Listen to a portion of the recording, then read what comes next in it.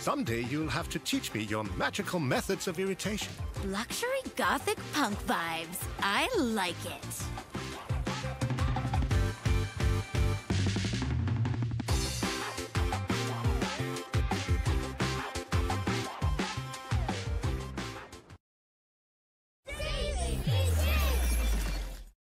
Got a story to tell? What I'm going to try and do is go to schools and educate a lot of people about it. Just because somebody's disabled doesn't mean they can't achieve something. If you're aged 11 to 18, the BBC can help you tell your story.